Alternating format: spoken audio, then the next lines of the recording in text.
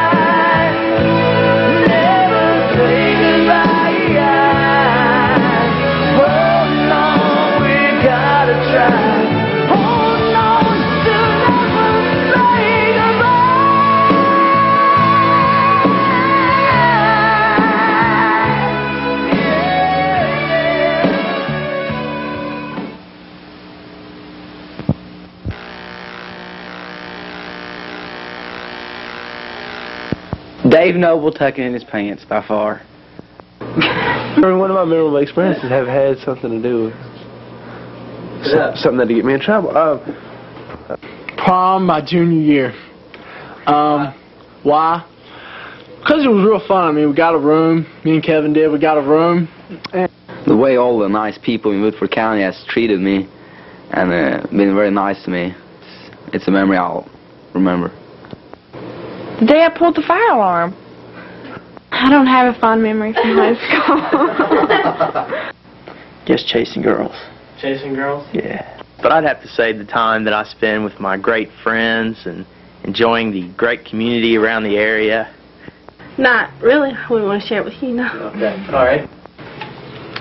To say my fondest memory of my senior year would have to be New Year's Day. And I think, uh, and I think Tim Rouse probably agree with me on this one. Uh, Fondest memory would have to be um, junior miss and toilet papering with Lucy and Tracy and Sarah. it's been great. Mr. Gill.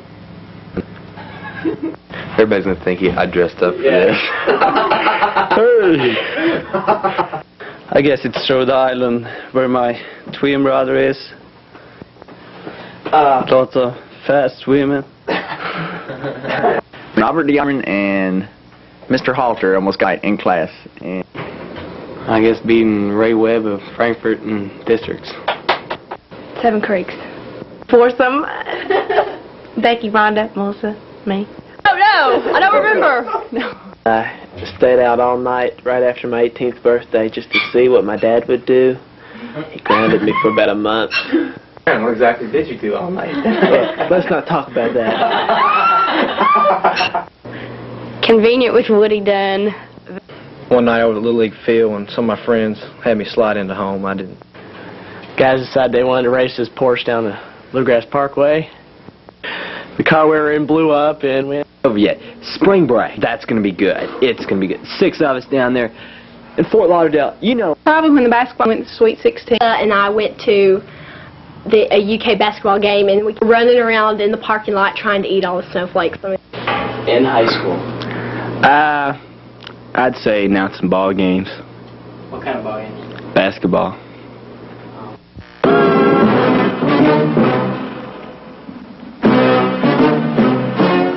This is the city of Versailles, Kentucky. I work here. I'm a teacher. It was December 19th, and it was cold in the city. Arriving for work, working the day watch out of room 109. Mr. Osborne is new boss here.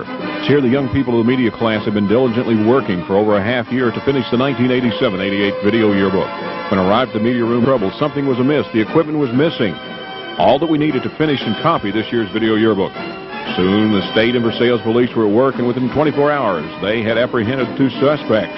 But still, the equipment was not available. It was gone. It had been fenced. Then to the rescue. The money was available, and the video yearbook was saved.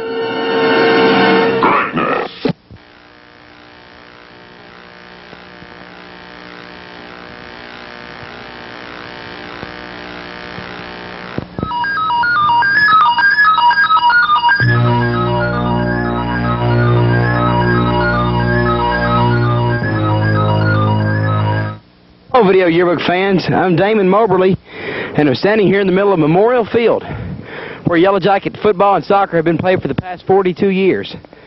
I'm somewhat happy and somewhat sad to say that that tradition ended with the season of 87-88. Next year's teams will have the privilege of being the first to play on the new stadium out at County Park. But those who participated this past year for the 87-88 season will have the distinct honor of being the last to play junior varsity and varsity football on Memorial Field. However, soccer will continue to be played here. For a recap on this past year's soccer, here's Tim Allen and Brad Turpin. In the meantime, I'm going to head on over to Big Spring Park. See you in a few minutes.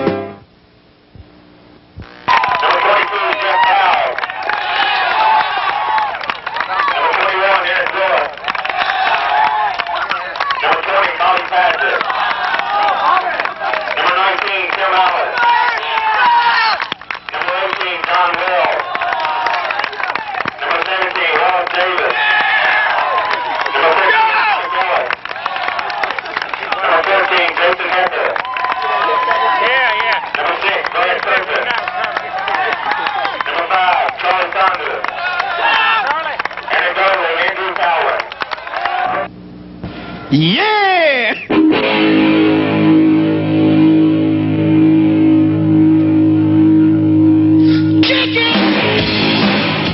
Soccer Jackets began their season with a young yet highly talented team. They were instructed by first-year head coach Les Chapman and assistant coaches Gary Pimentel and Jim Weil. They were led on the field by senior captains Jason Hecker, Tim Allen, and Brad Turpin, and junior captain Wallace Davis.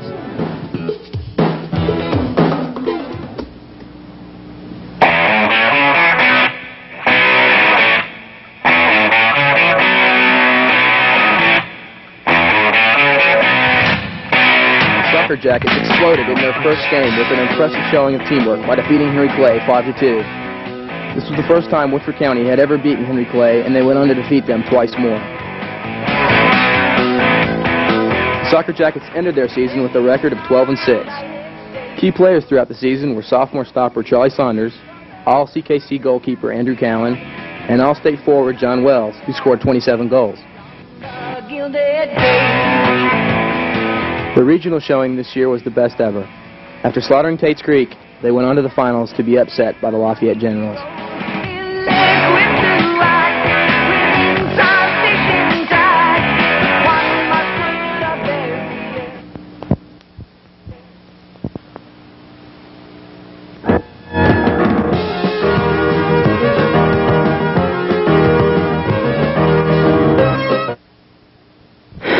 Just arrived here at Big Spring Park, home of the AB Happy Chandler Vita course. The cross country team holds all its practices here. As you can see, there's many trees, hills, and other obstacles for the cross country team to overcome as they run the course. Led by Leon Powell and Magnus Lonstad that you just saw a minute ago, fly by me anyway.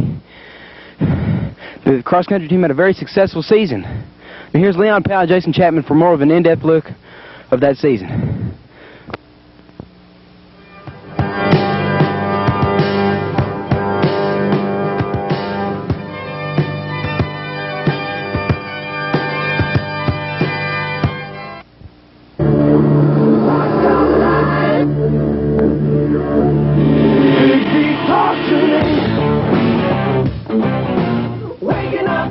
Second year in a row, the cross-country team experienced a change in its coaching staff.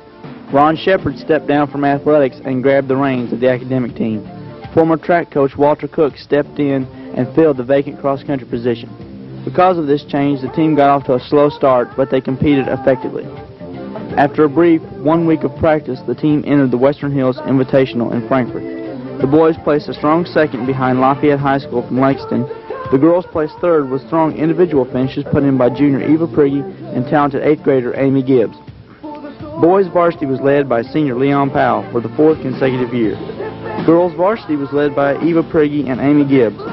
Boys junior varsity put in strong performances behind senior Jason Chapman. Due to scant participation, there were not enough girls to necessitate a girls junior varsity. Asbury College was the site for the Central Kentucky Conference. As a team, the Running Jackets were hampered by youth and inexperience against older, more dominant teams. However, several individual runners had good finishes. On the boys, Leon Powell finished 8th and Magnus Lonstead came in 11th. Jason Chapman ended at 3rd in the boys junior varsity category. The cross-country team was blessed this year with the abilities of three foreign exchange students. All three were seniors, Monica Vargo and Joran Anderson. Both from Sweden were newcomers to cross-country. Magnus Lonstead from Norway had received previous running experience in the dominating European sport of orienteering. Team captain this year was senior Eric Stevens. Powell, the team's number one competitor, qualified for the Kentucky State Cross Country Championships and finished a strong 14th. The team has set many goals for next year. The seniors would like to wish Coach Cook and all the returning runners the best of luck in the 1988-89 cross country season.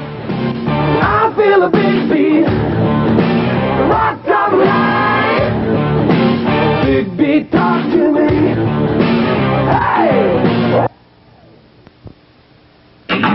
Hey!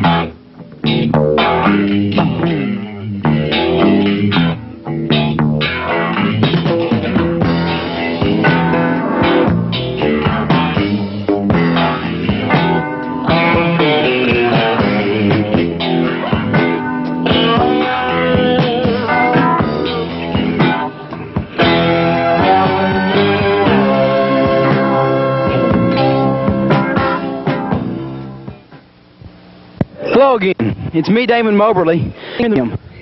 So far today, we're taking a look at soccer, cross country. Now we're here to take a look at girls volleyball. The team practices and home meets here.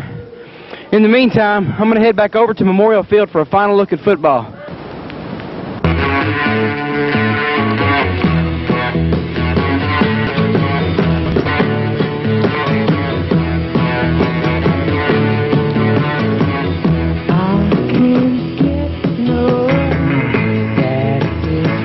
The 1987 Woodford County volleyball team started off the season with two goals in mind, to have a winning season and to win the region. Since they started out extremely slowly with a record of 2 and 5, it seemed as if their goals would not be achieved.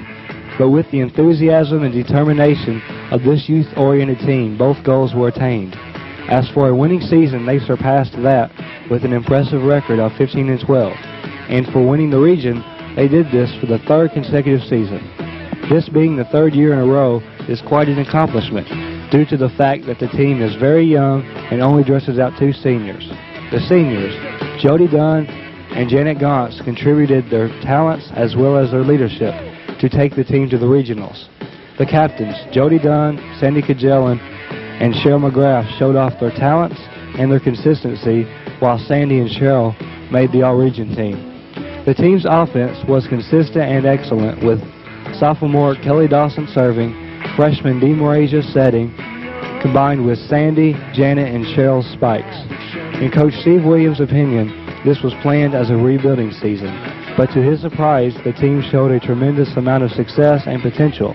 Coach Williams looks forward to continuing the winning tradition.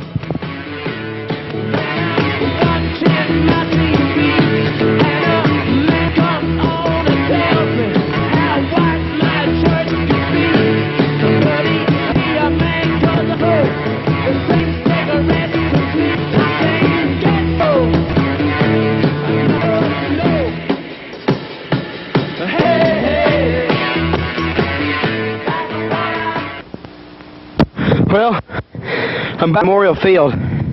We've taken a look at cross country, girls ball over at the high school, and we're back again here at Memorial Field.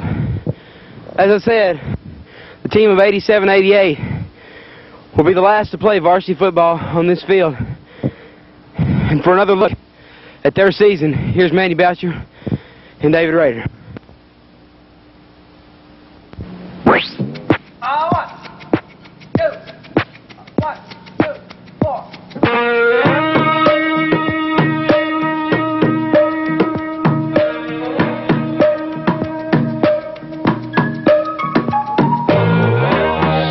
1987 Yellow Jacket football team had a very frustrating season. Though the Jackets worked hard during the off-season, the final record was 2 and 8. Those seniors recognized on and off the field for outstanding achievements were Kevin White, Outstanding Linebacker Award, Todd Combs, Best Defensive Lineman, Best Defensive Back was given to David Rader, and Ted Fowler was named Most Valuable Player. Plays with Leo. Sasha plays with Brit. Adolf builds a bonfire. Enrico plays with it.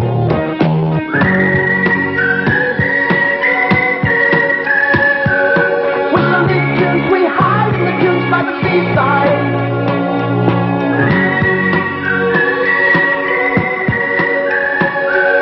With some Indians we're kissing baboons in the jungle. It's a knockout. If looks could kill, they probably will engage without frontiers or without tears. Tonight, I don't want to dwell just upon this year. I'd rather share my feelings with you about my years as a Woodford County Yellow Jacket. There have been many feelings happiness, sadness, frustration, and agony. But overall, these feelings have helped me to learn to be a team player, to respect others, and to love and care about others. Most importantly, these experiences have helped me to be a better person.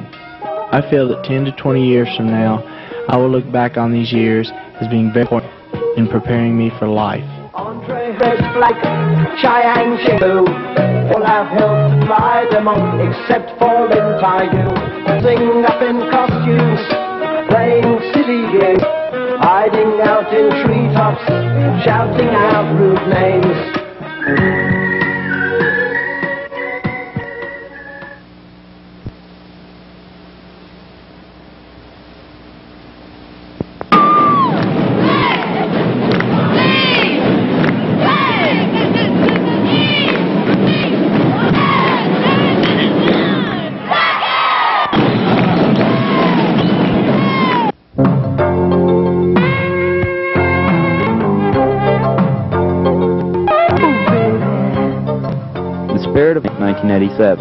With it came excitement. Here are some from that week.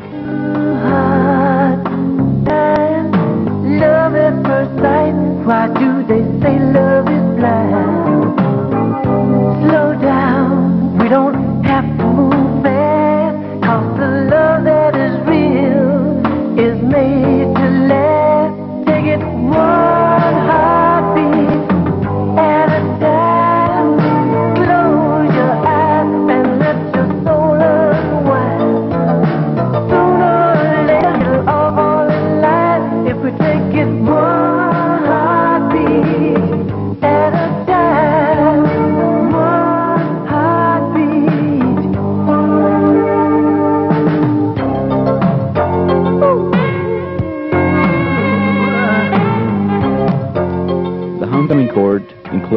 Tammy Beasley, our homecoming queen, Lisa Nesselrode, Hope Crane, Heather English, and Dee so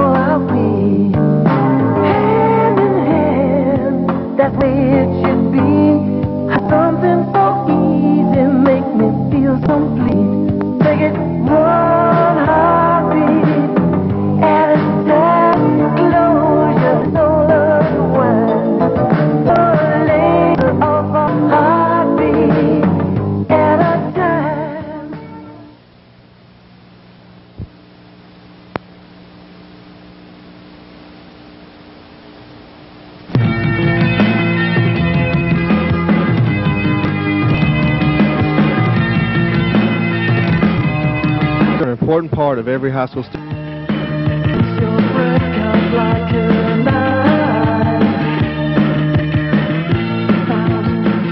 Segments dedicated to Frank.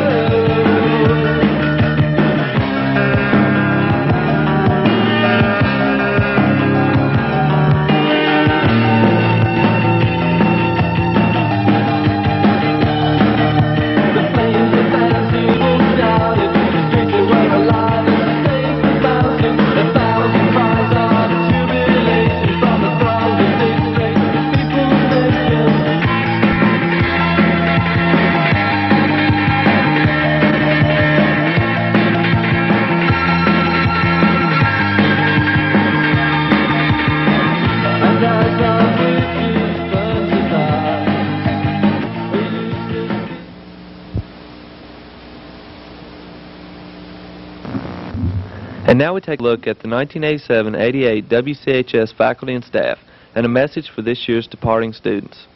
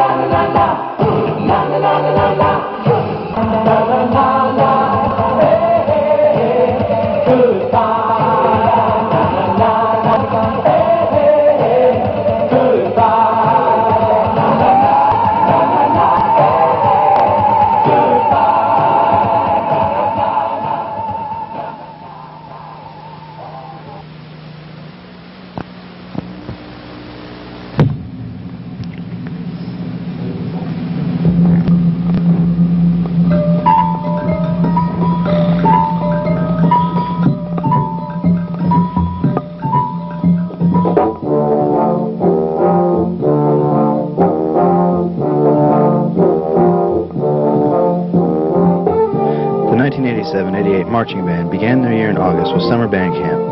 For two weeks, they taught the freshmen how to march.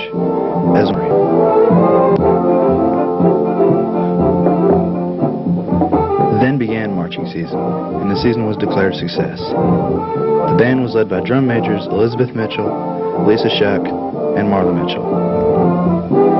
The band was also invited to attend the governor's inaugurational parade in Frankfort.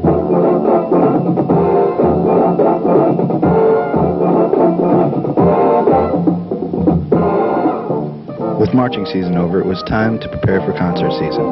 The band went to the Kentucky Musical Educational Association contest and got a 1. They also performed at many concerts through the year. Then it was time for the annual band trip. This year they went to Chicago, Illinois. It was the second time for the seniors. Now, here are some scenes from the trip, concerts, and the rest of the year.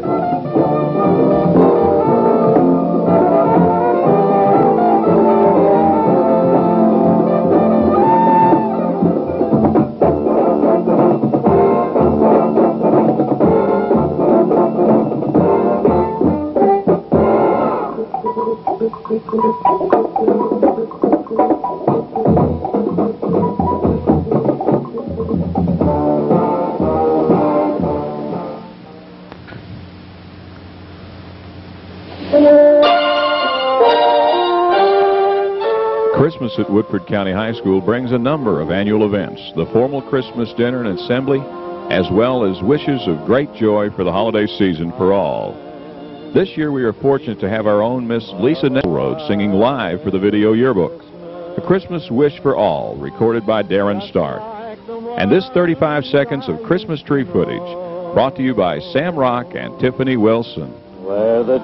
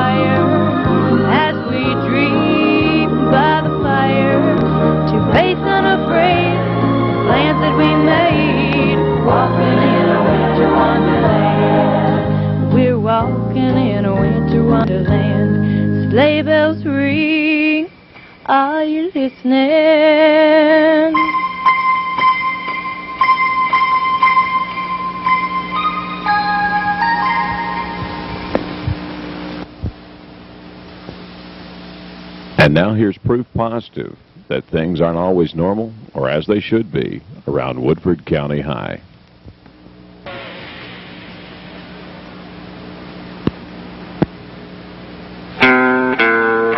People are strange when you're a stranger. Faces look ugly when you're alone. Women seem wicked when you're unwanted. Streets are uneven when you're down. When you're strange, faces come out of the rain when you're strange. No one remembers your name when you're strange. When you're strange. When you're strange. People are strange when you're a stranger. Faces look ugly when you're alone. Women seem wicked when you're unwanted. Streets are uneven when you're down.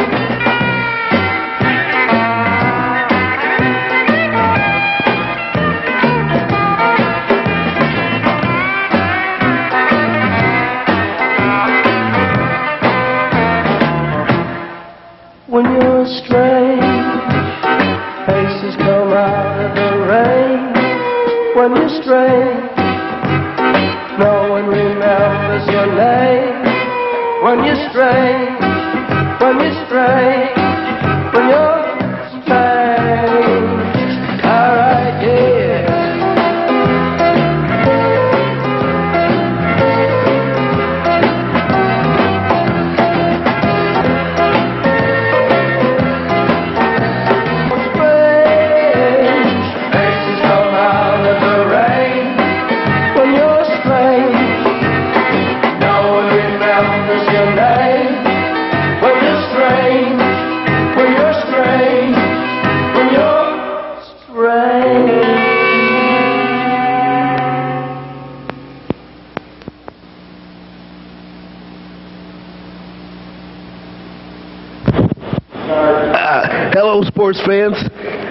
David Clark, or should I say wrestling fans. Uh, the 1987-88 wrestling team had a tremendous season this year, finishing third in the state.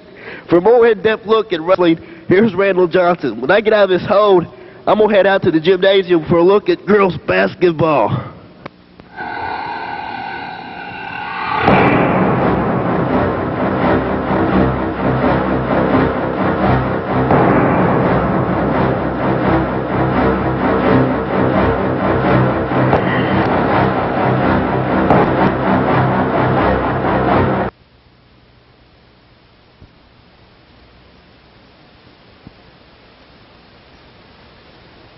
1987-88 wrestling team had a most successful year, even though they had to fill almost half of the 13 varsity positions with first-year varsity starters.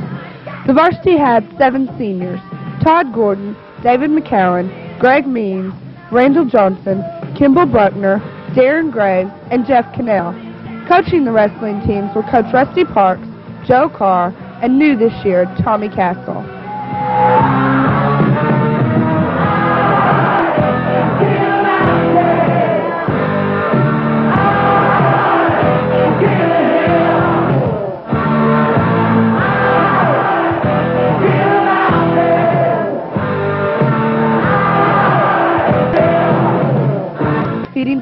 County in the first dual meet of the year. That Saturday, they went to the King of the Bluegrass tournament at Wayne State. At the Christian, Woodford County placed second place behind a strong Christian County team. The WCI was the site of a 20-team tournament. Woodford placed second in team standings. At Danville High School, the wrestling team had a very important dual meet. Give the Tickets its 100th consecutive win. The team won in front of the largest home crowd taken to an away meet. The last match of the year, the wrestling team ended their dual meet season by defeating Trinity. The team ended another year undefeated with a 21 0 season dual meet record.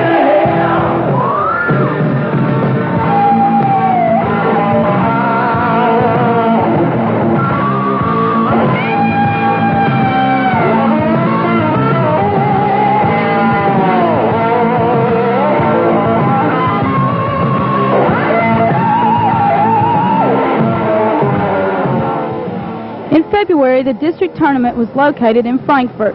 The wrestling team won their fourth straight district and had 12 wrestlers to be qualified for the region. The region was also in Frankfort. The wrestling team went strong and won their fifth straight region. The team qualified 11 for state. On February 19th and 20th, the state tournament was located in Atherton, Louisville. The wrestling team finished third overall. They had two wrestlers in the finals. At 103, Todd Gordon. At 112, John Baker. Both finished second in their weight classes. The team other placers, Greg Means placed third at 140, placed fifth at 135. Team team had an extremely good luck next year.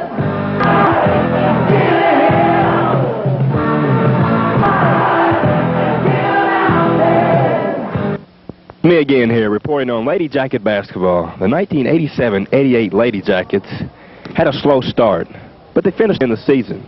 For more on Yellow Jacket basketball, here's Vanessa Penn. In the meantime, I'm going to go report on swim team and take a dive.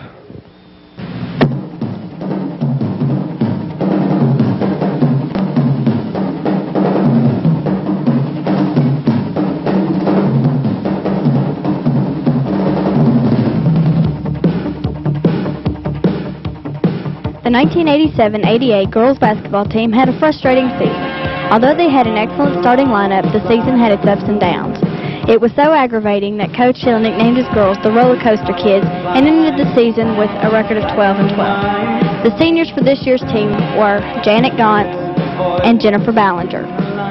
During Christmas break, the team traveled to Madison Central High School for their holiday tournament. The Lady Jackets fought hard, and in the end, Woodford County won first runner-up. Their next big tournament was the CKC. The girls made history as being the first Woodford County team to win the CKC. Senior Janet Gons was named Most Outstanding Player. She led the Lady Jackets and the 41st District in scoring with 442 points and won awards for the most rebounds and the highest free throw percentage at 68.5. She also received an honorable mention for the All-State team. Junior Cheryl McGrath won the Defensive Award, and freshman Shannon Snap had the highest field goal percentage at 51.5. Missy Curl, Arlene No, and Mindy Harrison all tied for the Coaches Award, and Renee Bureau won the Academic Award with a GPA of 3.8. Next season, the girls are expected to do well because of the depth of the underclassmen. This past season has been agonizing, but it will never be forgotten.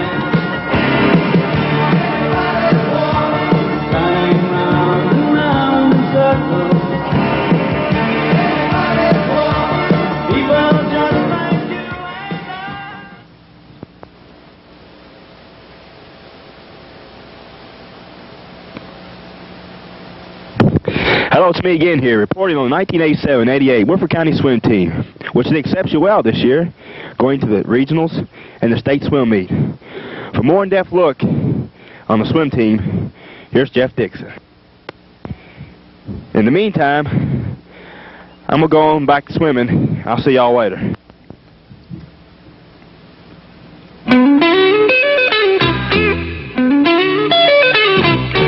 This is Jeff Trowbridge replacing Jeff Dixon.